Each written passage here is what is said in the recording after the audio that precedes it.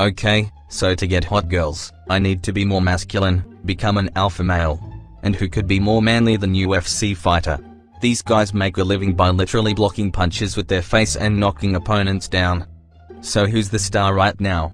To give Paddy his moment, here's Bruce. Paddy the Baddy. Paddy Pimblett. I will analyze and copy him. Let's begin. Trendy He-Man haircut. Done. Next. Six pack. Get shredded. That will be hard. Wait. Wait. What? What? What's this? Really? Get fat? Nice. Already done. Next. being a little weirdo like he is, but no one can out weird me. I'm weirder than anyone.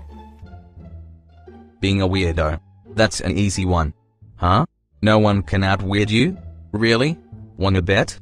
Anything left? But who I want to fight? Mark Zuckerberg? Lad, I'm gonna punch your head in. I'm sick of you, lad. Know what I mean? Sick of you. Great. Now all I have to do is fake a Scouse accent. And punch Mark Zuckerberg in the face. And all hot chicks will be mine. Now all my epic fails are history.